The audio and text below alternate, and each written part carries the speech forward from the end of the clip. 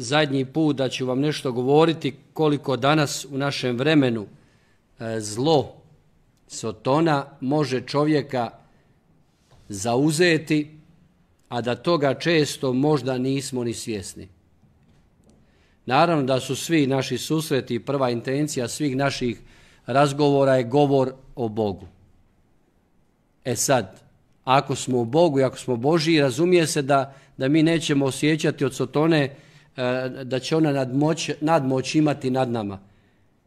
Ali nažalost ima trenutaka i možda faza u našim životima kada smo možda slabi u vjeri, kada posustanemo u nasljedovanju Isusa i Sotona baš vreba da nas uhvati u našem najnespremnijem času baš kad smo možda negdje na rubu društva i mnogi uglavnom zato završe i u nekim čak sotonističkim sljedbama, jer ono osjete se svugdje kao odbačeni, a tu eto netko ih kao privlači i voli. Ja večeras namjerno nisam htio vam ništa prikazivati, jer bi možda samo imali dojam nekog straha od zla, od tog istjerivanja zloduha, ali evo donio sam samo neke knjige da vam pokažem njih pet, šest ovdje. Neizmjerno je more literature o tome. Eto ova knjiga govori o oslobođenje od zlih duhova. Strana knjiga. Ovo je jedan naš doktorirao na egzorcizmu, Vinkov. Imamo čak naziv jednu kateheza Sotone, kako zapravo đavao Sotona vrši svoju katehezu. Znamo da je u kršćanstvu kateheza oblik navještaja, ali Sotona ima svoju katehezu, ima svoje proroke lažne, ima svoje navjestitelje. Pogotovo vama mladima blisko, e, u dva, dva različita su dijela izišle knjige, hoćemo samo tvoju dušu. Ete, hoćemo samo tvoju dušu, kao da imaš nešto više i vrijednije. Hoćemo samo tvoju dušu, to znači hoće cijeli tvoj život za propast i za pakao. Tu se osobito govori kako se putem, to mogu posebno predavanje držati nekada, putem glazbe širi sotonizam. Ovdje o tome piše kako se na heavy metal i nekoj rock sceni nažalost širi sotonski glas i sotonino, sotonino onaj sjeme. Pa evo, to je i onaj, izišao i reprint te knjige istoga naslova, hoćemo samo tvoju dušu. Ja želim sad na početku prvo da pročitati onaj e, jedan e, ulomak iz Svetog pisma iz Evanđelja po Luki. Zašto? Jer mnogi će danas s jedne strane imamo prenaglašeni govor o Sotoni. Imate ljudi sve je Sotona, svugdje vide Sotonu. A imate također, nažalost, i smjer onih koji kažu nema Sotone. Kakva Sotona? To je izmišljotina. I onda pročitat ćemo i čujmo kako Isus liječi jednu opsjednutu osobu. Dakle, Isus liječi opsjednutu osobu koja je zauzeta sotonom. Gdje se to dogodilo? U Kafarnaumu. I ovako kaže pismo. Zatekao se u sinagogi čovjek s duhom nečistoga đavla. On povika u sav glas, dakle duh toga nečistoga đavla. Hej, što ti imaš s nama, Isuse Nazarećanine? Došao si da nas uništiš.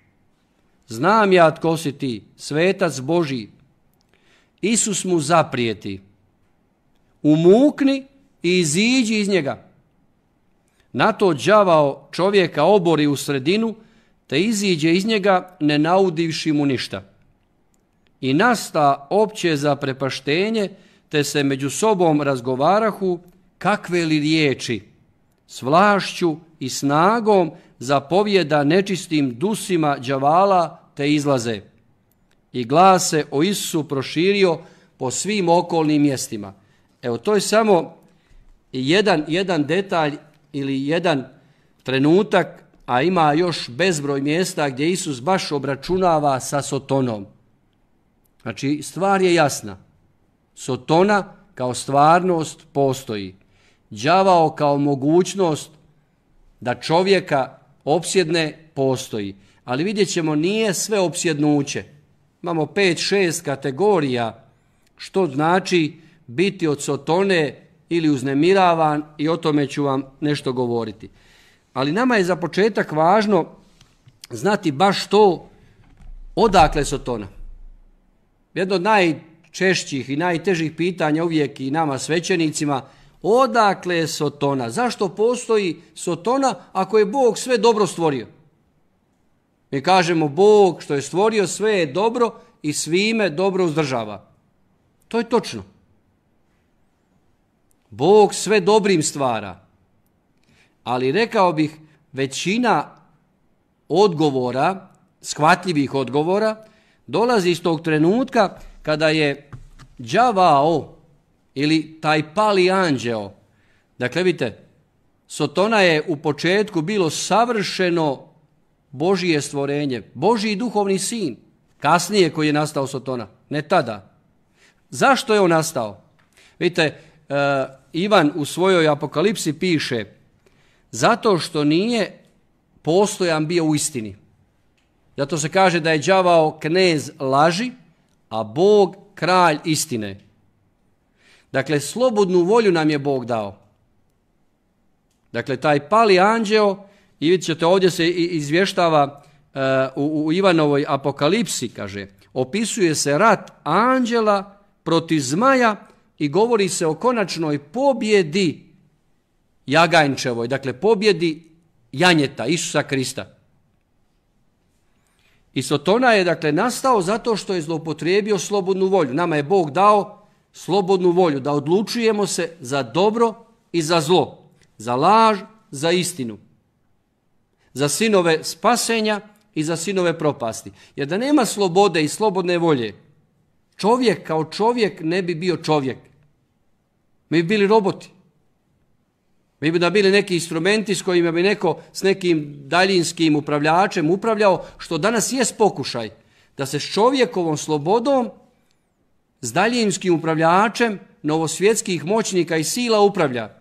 Strahom, ucjenama, financijskim načinom, zaduženošću, raznim ratovima. I kad se pitaju ljudi zašto Bog dopušta rat? Nije Bog rat počeo nego čovjek koji je prekršio tu slobodu i umjesto da je odnio cvijeće s druge strane granice, on je iz svoga zla ponio granatu. Dakle, ne možemo reći da je Bog sada proizvođač rata. Ne. Zlo je, Sotona počinje rat. Sotona, zašto? Sotona je ohol.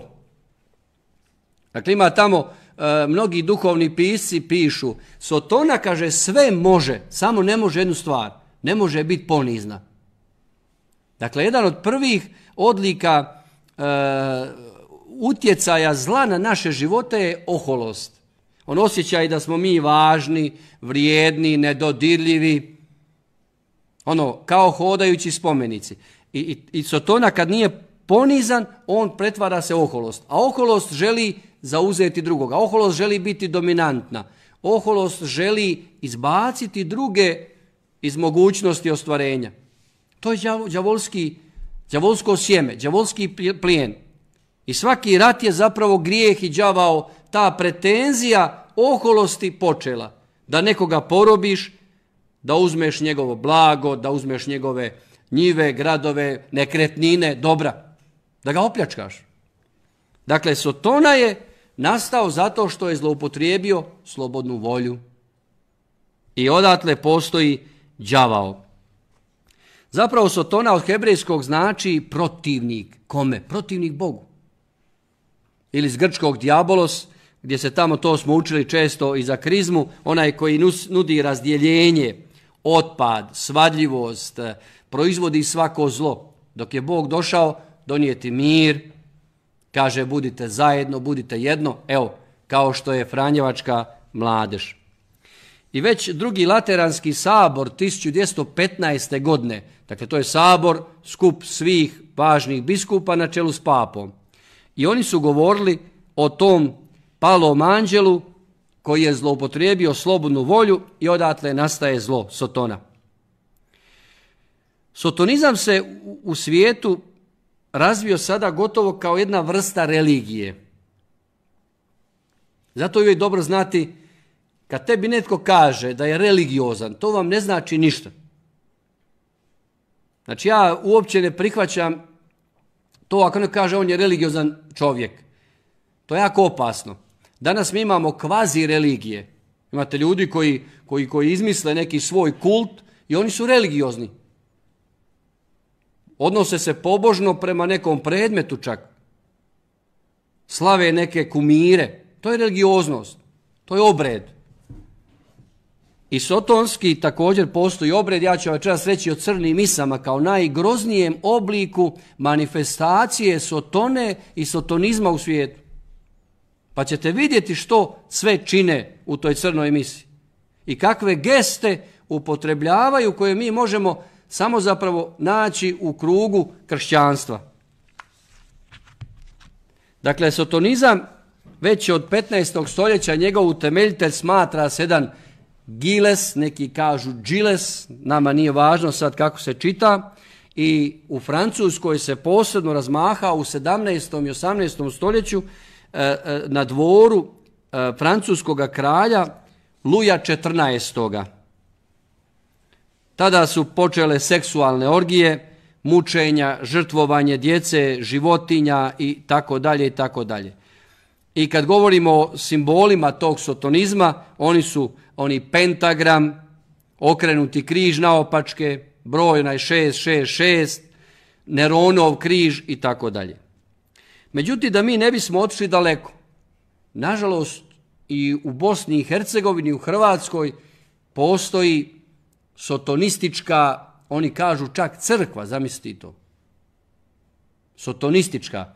Službeno je u Varaždinu čak osnovana 1977. godine oni koji slijede Sotonu, kult Sotone u njegovom obredu.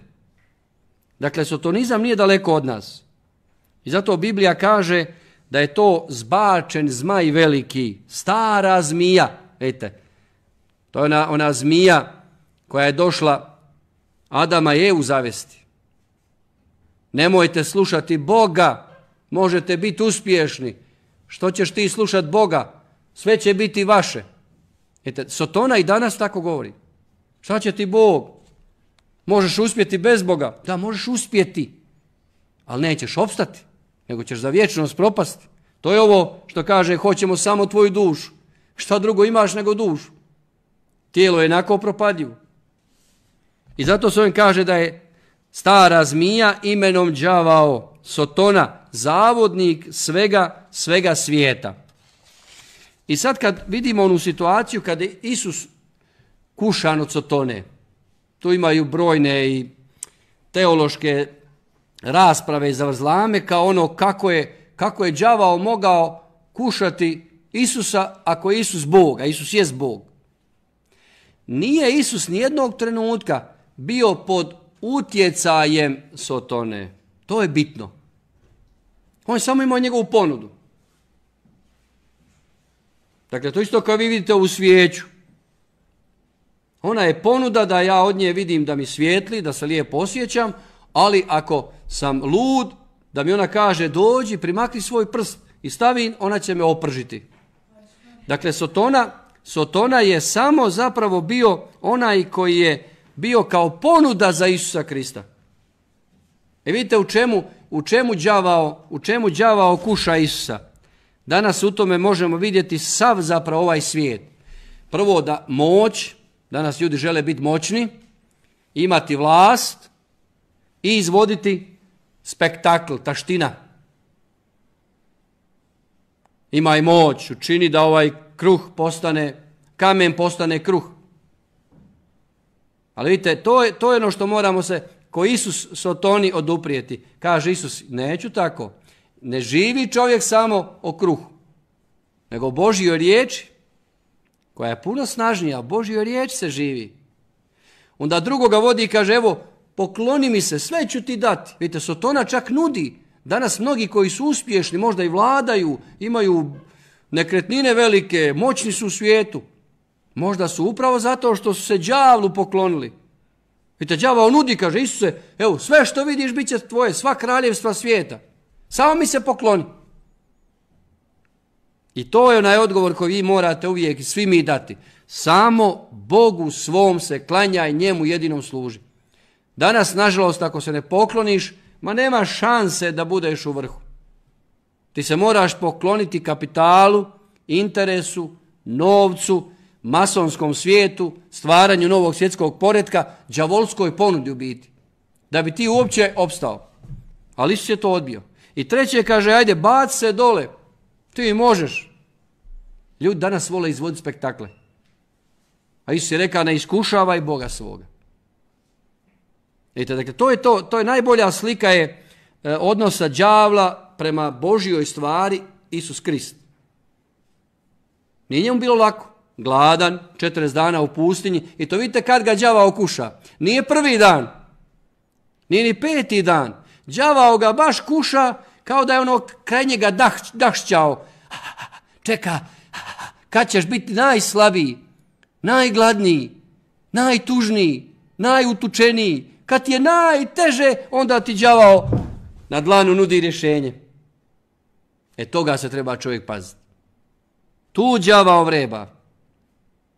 To ono što je tamo Petar u poslanci pita, pisao, e, đavao vaš kao ričući lav obilazi koga da proždre. Znači on obilazi, obilazi, čeka, kao lopov koji, koji prati kako će onaj opljačkati nečiju kuću, on vreba i gleda kad ste vi negdje izišli, kad ste možda otišli na izlet, kad ste na svadbi i onda lopovi sotonski, to je đavao. Lopov je đavao, kradljivac. I on vreba i nađe vas u najslabijem trenutku i onda vas zaskoči. To je ta đavolska prevara. On je vrlo inteligentno biće. Jako inteligentan. Lukav. Prevarant. Varalica od početka, kaže sve to pismo. Vidite, čak kad je Isus s Petrom razgovarao o, o, o muci svojoj, Dakle, sad ćete shvatiti što đavao, đavao hoće. Ovaj naš svijet je danas pošao da nema, ništa te ne smije bolit, ne smije biti trpljenja, nemoj se ništa odricati, nema posta, nema križa, ništa. To je đavolska ponuda. To je upravo sveti Petar, još dok je bio slab, Isusu nudio. Isus kaže, ja ću ići u Jeruzalem, tamo ću stradati, mnogi će me popljuvati, umrijeću, razapećem. Kaže njemu Petar, ne gospodine, ne smije se tebi to dogoditi. Šta mu Isus kaže? Odlazi od mene sotono. Vidite, ako vama netko danas, ja se zgražam kad vidim tako ono svugdje po internetu, sve je olako. Olako, olakšan ovo, olakšan pristup kreditu, olakšan završetak fakulteta, olakšano učenje strani jezika, sve to neko olakšano. Niko neće da kaže, nudim ti trpljenje, nudim ti mukotrpno studiranje, ali ti jamčim radost. Vidite, to je đavolska ponuda. Sve lagano, ne treba mučice, bez muke. Eto, zato je Isus rekao, e, ti si đavao, Petre, kad tako od mene tražiš. Ti si đavao, jer nećeš da da trpiš. Vidite, u Ivanovoj poslanci zato kaže ljubljeni, nemojte vjerovati svakom duhu, nego provjeravajte duhove jesu li od Boga, jer su mnogi lažni proroci izišli u svijetu. I na drugom mjestu Isus je Petru rekao izravno da ga đava rašeta. Vidite, i danas je moguće.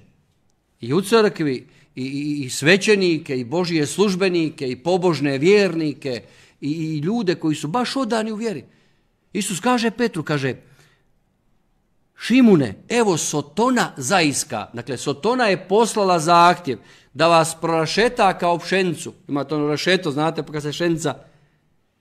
Da vas prorašeta, ali ja sam molio za tebe da nema lakše tvoja vjera. Pa kad dođeš k sebi, učvrstivat ćeš braću. Vidite, kad je čovjek pod utjecajem Sotone, nije, nije, nije pribran. Nije točan, mi bi rekli.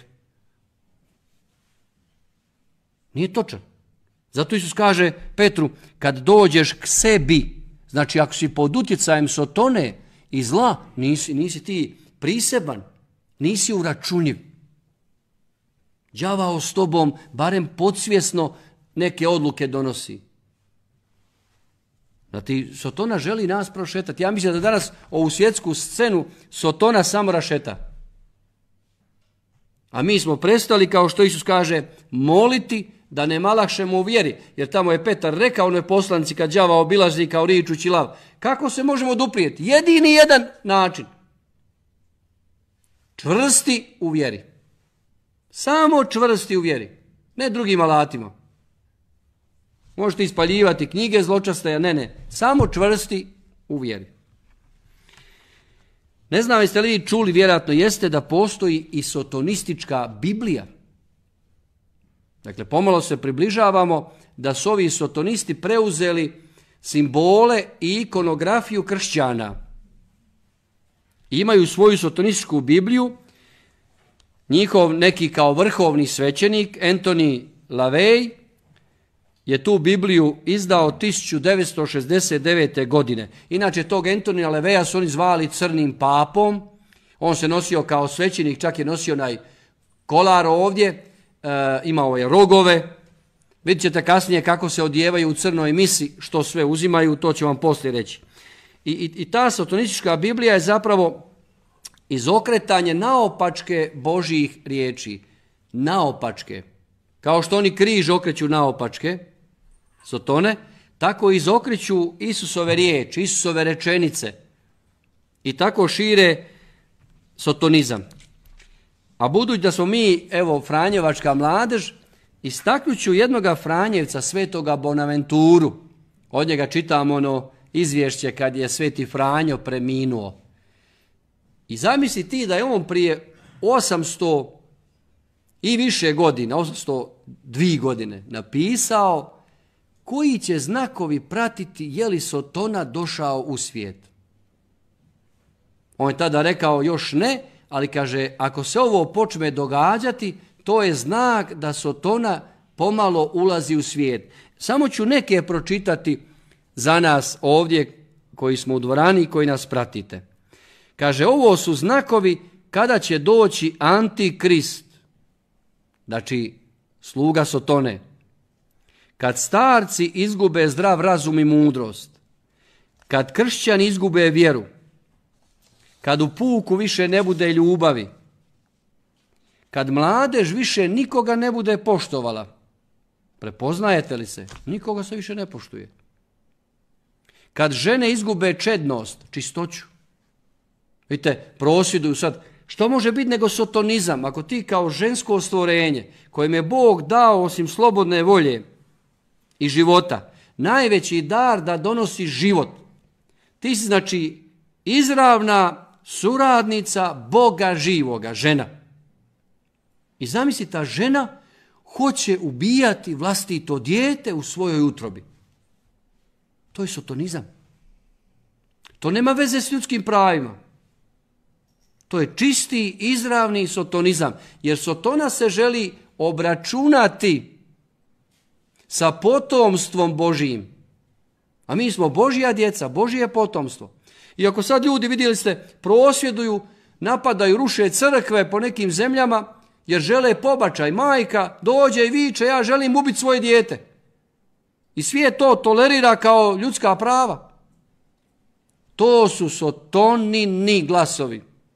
To su đavolske opsjene i opsjednuća nekih osoba.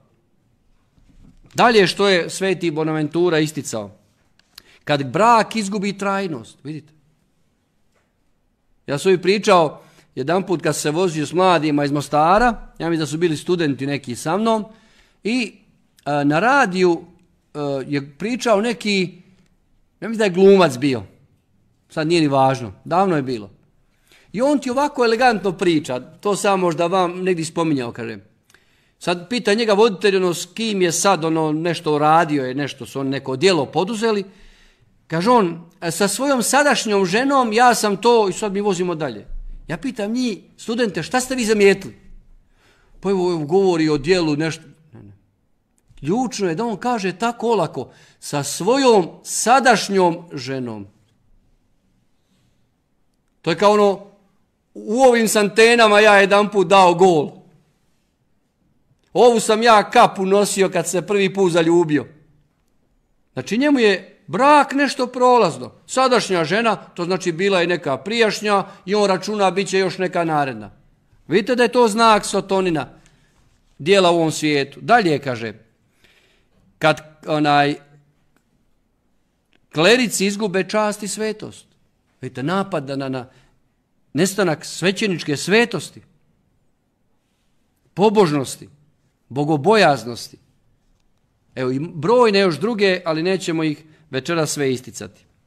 Naravno da, da se najčešće kad se govori o, o djelovanju Sotone na nekoj svjetskoj razini, govori o dolasku Antikrista. Šta je to Antikrist? Sama riječ anti znači protivnik Isusa Krista.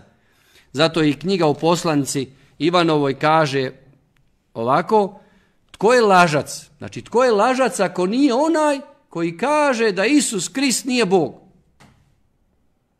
U prijevodu, tko kaže da Isus Krist nije Bog, ta je sotona.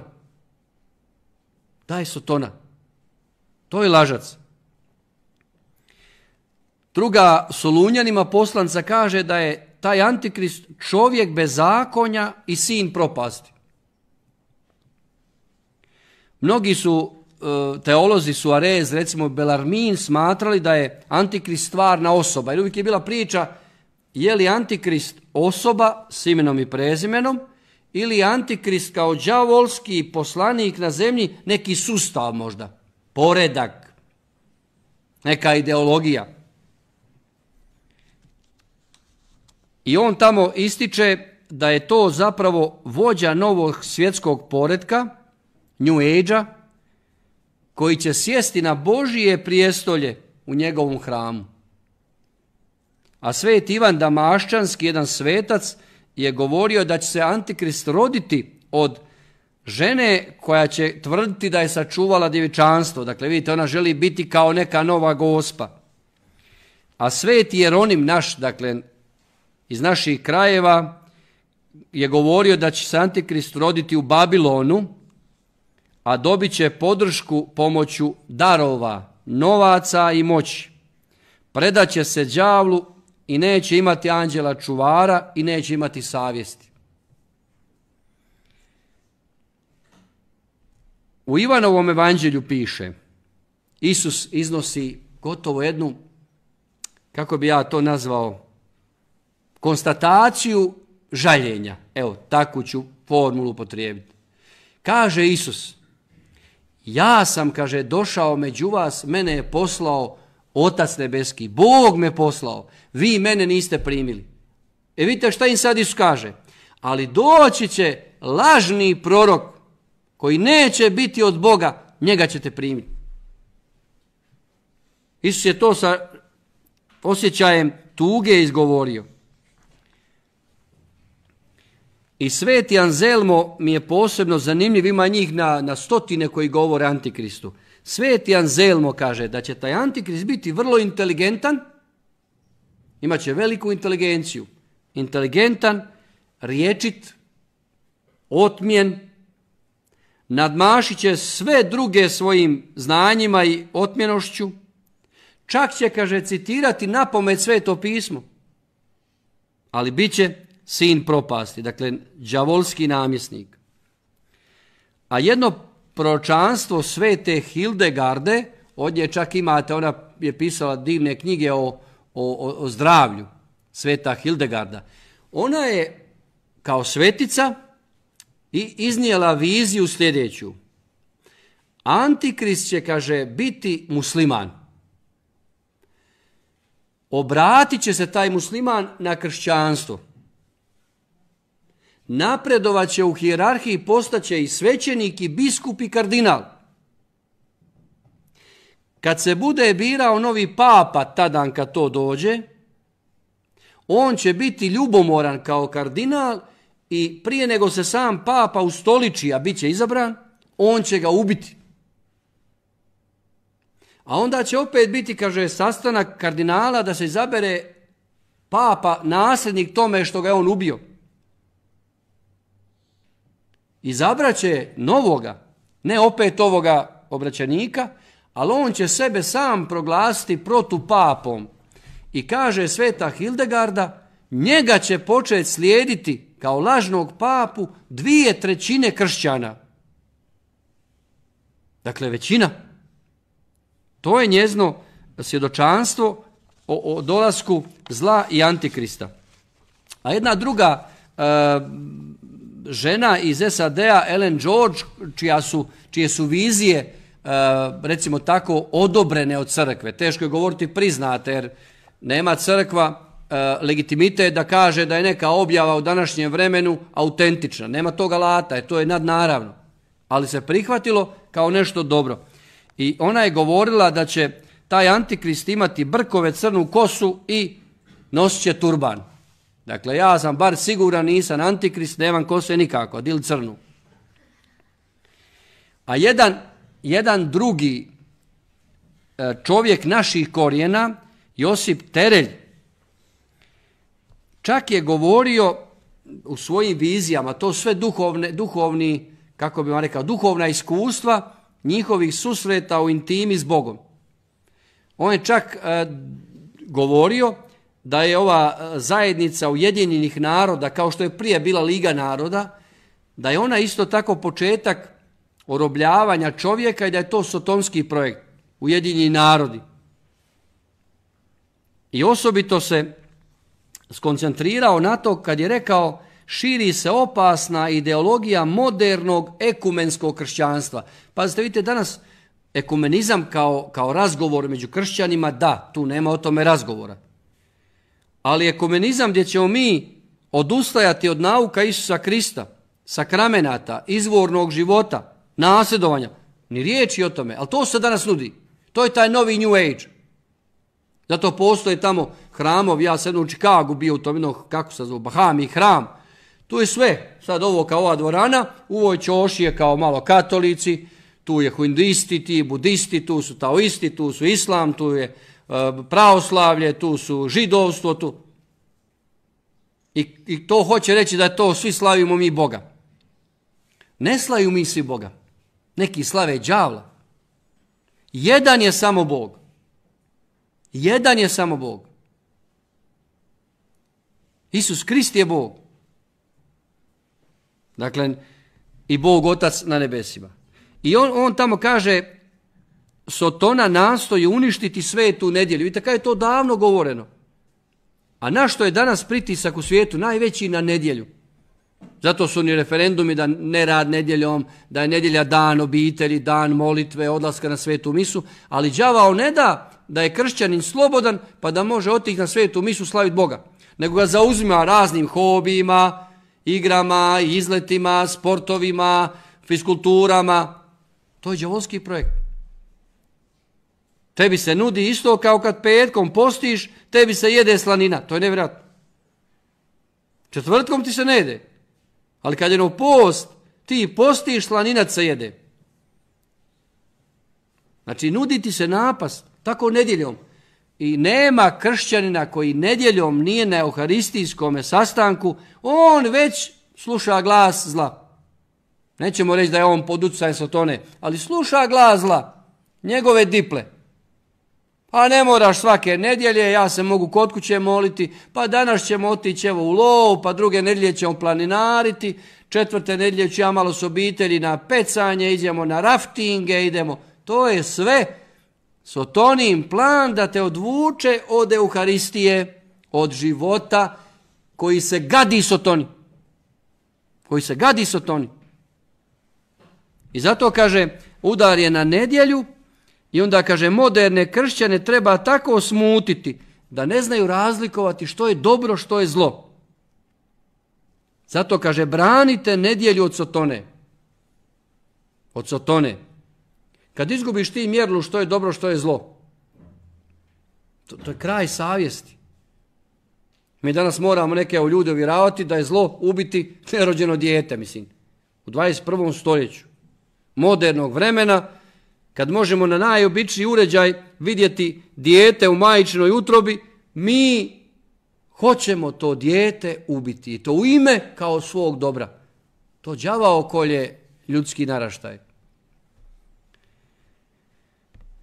Ispričat ću vam jedan događaj koji je, koji je života e, svetoga Padra Pija. Imate njegovu dolje sliku i našoj crkvi kod one ispovedonce. On je ispričao kao svetac koji je imao i stigme, poput svetog Franje, imao stigme, koji je jako pretrpio, otac Pio je doživio ime crkve nerazumijevanje. I on ti je jednom bio ispovedonci. I vidjet ćete komu je došao na ispovjed. On je zapisao, to je prihvaćeno kao autentično, dakle ne pričamo nikakve rekla kazala, kaže dolazim na ispovjed jako otmjen čovjek. Prekrasna stasa, uredan, vitak, elegantan, inteligentan i razgovaramo. Kaže, ja sam, beli sam, kaže, bio u duhovnosti, dakle svetac. Mene je već, kaže, bio smutio kako je dobro opravdavao grijehe. Nevjerojatno. I to najteže grijehe, kako je on u ispovedonci dobro opravdao, da sam ja mislio, ono, on je u pravu. Kaže, u jednom trenutku ja osjetim da mi dolazi sila od ozgo. Ono, mislim se, čudno mi sve, kako uspijeva opravdati grijeh. I kaže, meni dolazi objava, pred tobom se ispovjeda Sotona. Ja, kaže, u tom trenutku, kaže Padre Pio, u tom trenutku ja kažem, reci živio Isus Krist. Reci živjela Marija, bezgrešna djevica. Nestade, kaže, osobe ispod donce, nisu otvorila vrata. Nisu otvorila vrata. Kaže, te osobe je nestalo s druge strane. Vidite koliko je đavao domišljati, koliko je moćan, nažalost. Naravno da je Bog jači, ne treba se bojati, ko je Boži. I, i, i onog trenutka kad, kad, kad, kad ti opravdavaš grijeh, vidite, danas je došla faza, lako opravda grijeh, pa tako se to čini, svi to danas rade, ne rade. Djevojka koja danas izgubi nevinost na glup način, grešan, jednako je kao što je izgubila prije 300 godina. Jer svaki je čovjek original i biće. I muškarac koji se nedolično ponaša ili izgovara klete, psovke o Bogu, on je jednako grešnik kao i prije 500 ili 600 godina. Nemojte misliti da će vrijeme nas pasti. Nego ti đavao to šaplje, pa to nije ništa. E to je ono, zato je iznio Padre Pio e, ovo sjočanstvo, da nam kaže kako đavao dobro elaborira i opravda svoj grijeh.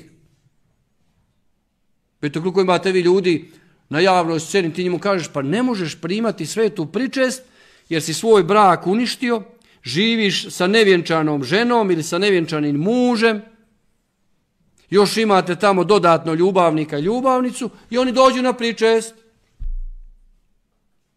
Ne može. Ili osoba koja se zalaže za, za nezdrav moralni život ne može primati sakrament. Ali on to opravdaju, sad je to vrijeme, pogotovo iz, iz političke scene. On tamo e, digne ruku za pobačaj, a dođe onda pred svoga svećenika na pričest. Pa ne može to. Primi Isusa koji je život, a ti vamo ubija život. E to je Sotona, on njima objasni, ništa to nije, nema to veze što si ti opljačkao, ukrao u poduzeću milion dolara ili eura, nema veze.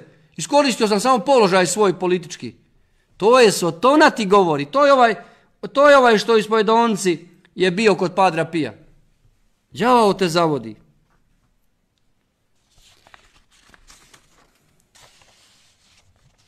Reću vam sada nešto o crnoj misiji, onda ćemo još u zadnjem dijelu o egzorcizmu. Prvo, zašto se u crkvama čuva hostija kao najvrijednija stvar što postoji u hram Božjem? Zato se i ključa, pa se ključ sakrije, pa vječno svjetlo tu postoji i tako dalje. Čuva se samo iz jednog razloga. Ne da bi Isus bio siguran zbog samog sebe, nego da ne bi do njega došli oni koji žele zloupotrijebiti hostiju. Vidjet ćete zašto. A vrebaju takvi. Najveći je njima trofej doći do posvećene hostije. Neće nikada sotonisti koji su provalili u neku crkvu. Zanimljivo, nikada nisu ukrali hostije i sakristije koje nisu posvećene. A lakše je doći do njih i prostim okom ne vidiš koja je posvećena, koja nije. Ne, ne. Đavao točno zna šta hoće. I u ritualu crne mise, vidite sam naziv, crna, znači misa je nama svjetlo, oni crna misa, i to je ritual koji završava na kraju seksualnim orgijama.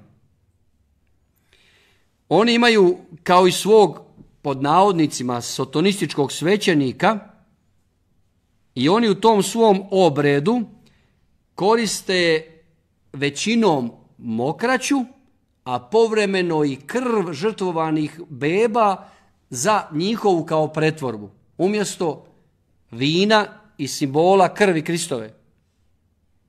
I to piju kao eliksir, kasnije pomiješan sa spermijem.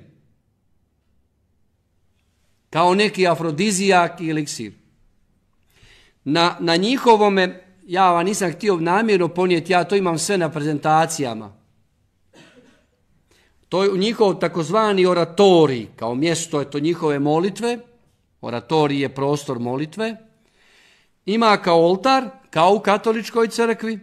Na taj oltar većinom legne gola ženska i ona služi kao oltar. I oni, ako imaju te ukradene posvećene hostije, stavljaju na najstidnija mjesta te žene.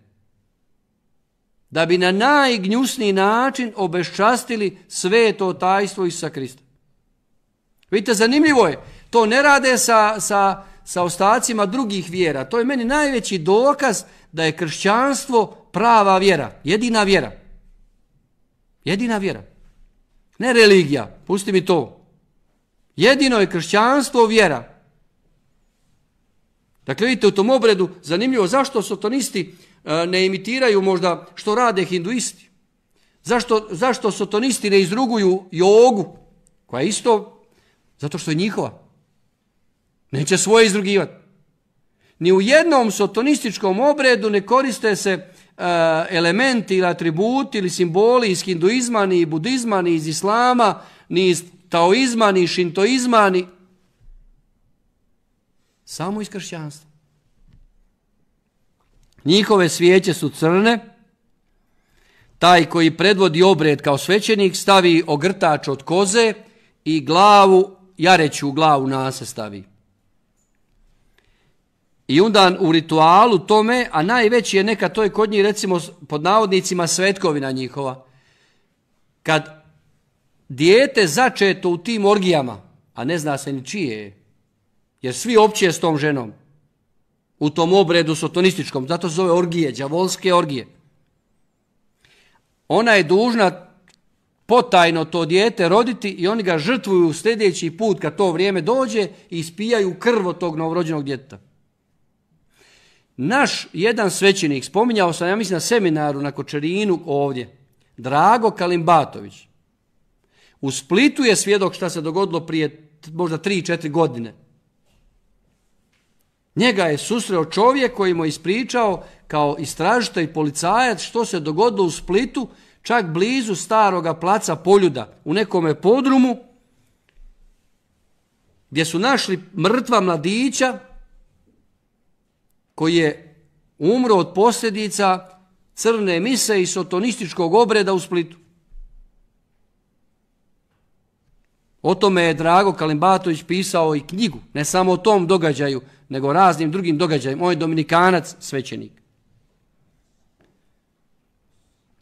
Tako da je njihov cilj da u tom obredu crne mise sve što je kršćanstva sveto da tu izruguju i obeščaste. Zato je, zato je znak da je to naše sveto. Zato moramo odnositi se sveto prema onome što mi jesmo.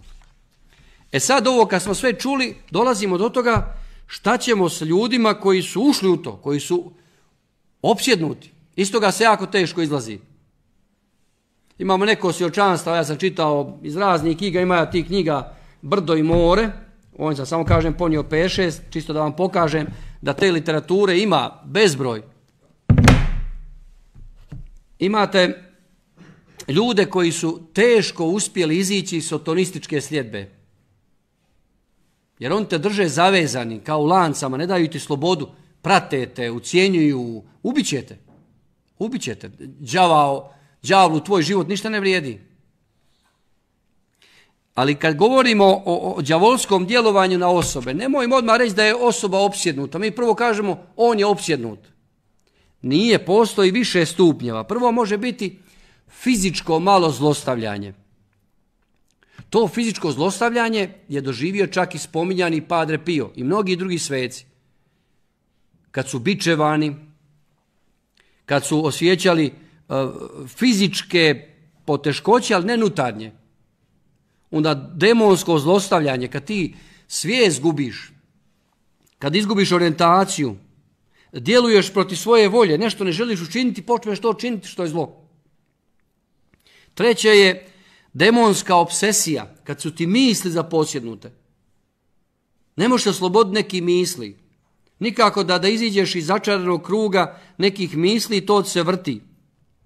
I teško je tu definirati što je e, bolest psihička, što je zapravo e, djelovanje sotone. Četvrto, de, de, demonsko uznemiravanje. Vi imate recimo osobe koje stvarno svjedoče da su sjedile u kući i da su se počele čaše tresti, premještaju se čaše. I nemojte ljudima reći ti lažeš. Jer sam ja to gledao. U Dubrovniku kad sam bio đak. I to u sobi svoga duhovnika.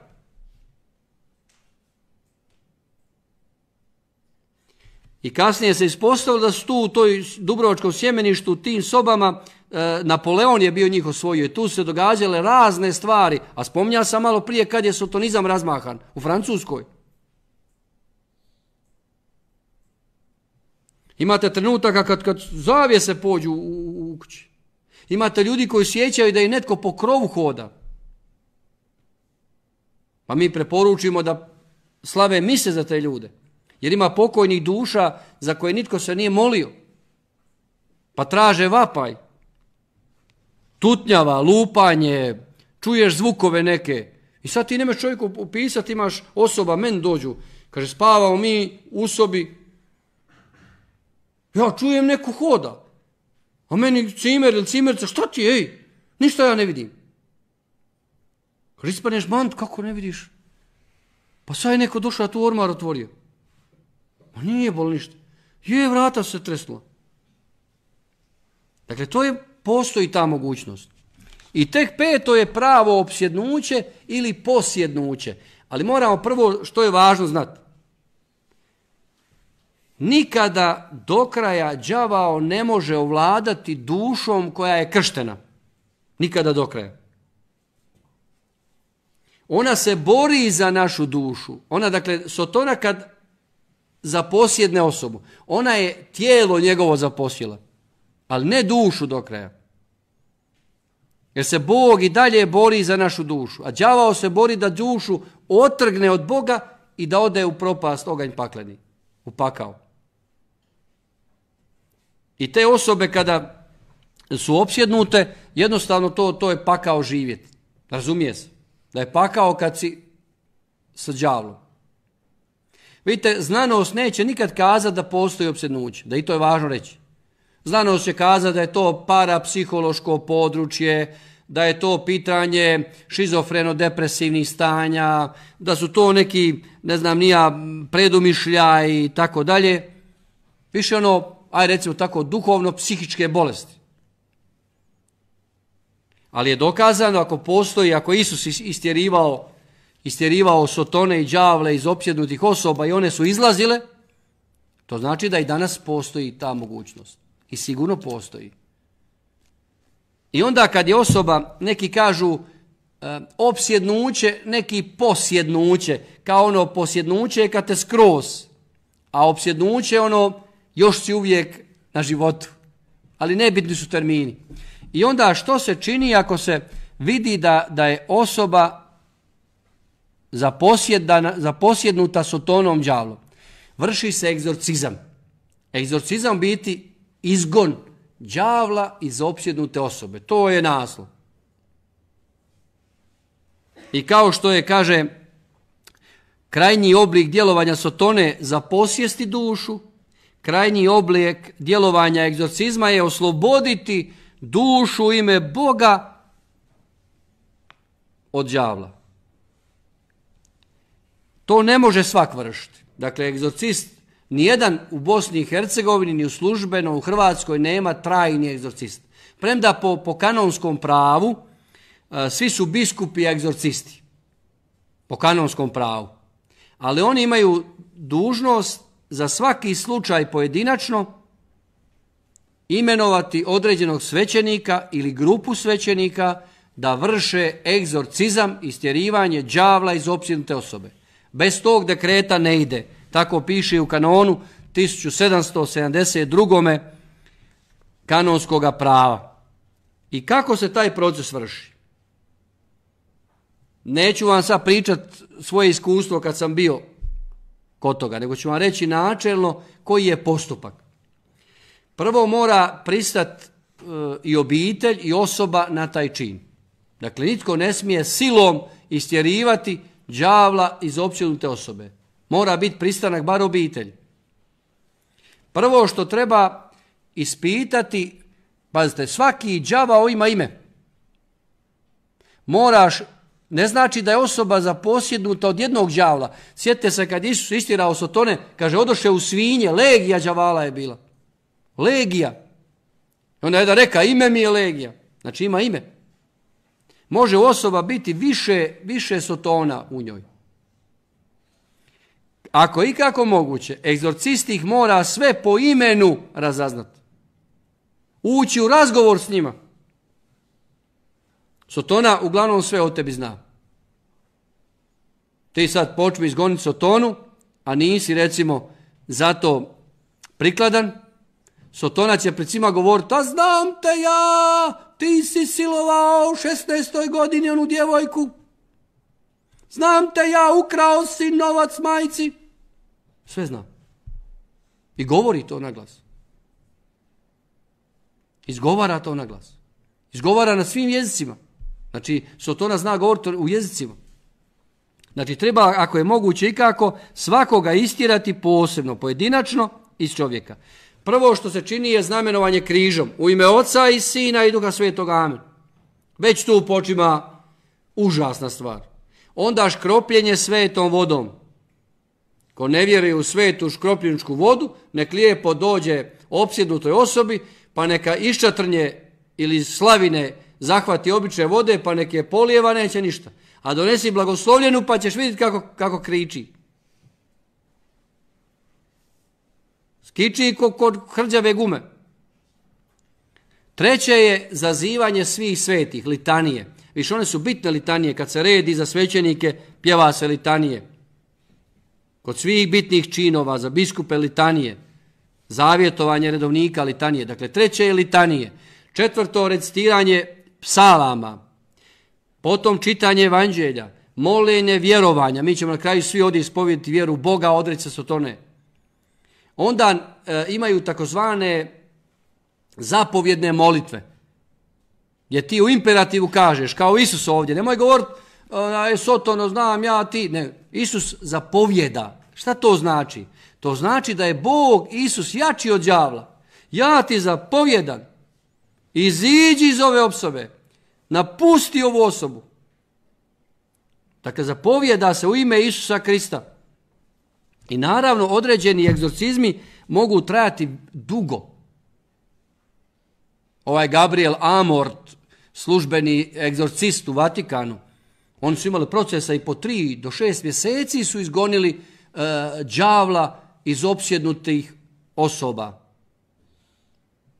Tada se većinom pod navodnicima regrutiraju molitvene zajednice, post mora biti jaki. Vidite, Najveći neprijatelj đavla i sotone je post. Zato vam preporučam postite.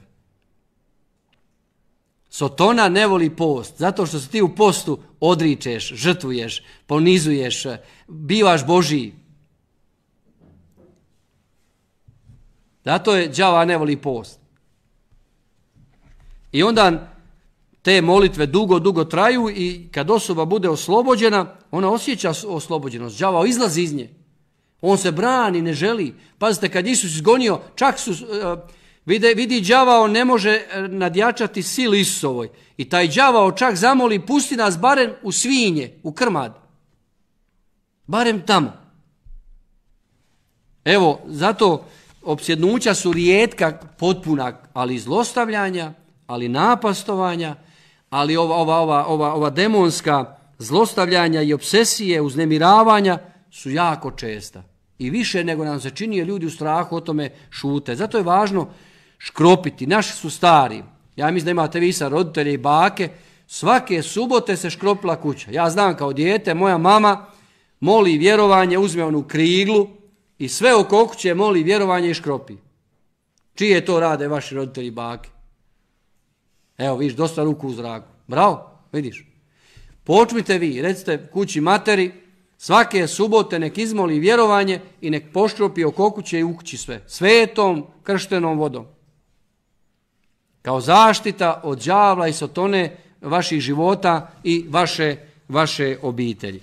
Evo, tu ću se ja zaustaviti, a mi ćemo sada svi ovdje u Dorani i oni koji su s nama putem virtualnog zajedništva odreći se sotone i ispovjediti svoju vjeru u jedinoga Boga Isusa Krista da nas čuva.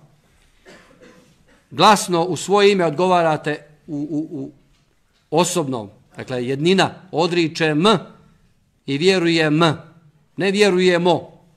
Ja moram pitat vas u množini jer ste mnogi ovdje. Ali za sebe odgovori odričem i to glasno i jasno. Odričete li se Sotone Odričem. i svih dijela njegovih Odričem. I svega sjaja Sotonina? A vjerujete li u Boga Oca svemogućega stvoritelja neba i zemlje? Vjerujem. Vjerujete li u Isusa Krista, Sina njegova, jedinoga gospodina našega, koji je rođen od Marije Djevice, trpio je bio pokopan, koji od mrtvih uskrsno i sjedi iz desna Ocu? Vjerujete li u duha svetoga, svetu crkvu katoličku, općinstvo svetih, oproštenje grijeha, uskrsnuće tijela i život vječni? To je vjera naša, to je vjera crkve. Njom se dičimo, nju ispovjedajmo Kristu, Isu, gospodinu našemu. Amen. I skupa izmolimo na slavu jedinoga i trojedinoga Boga. Slava Otcu i Sinu i Duhu Svetomu kako bijaše na početku, tako i sada i vazda i u vijeke vjekova. Amen. U ime Oca i Sina i Duha Svetoga. Amen.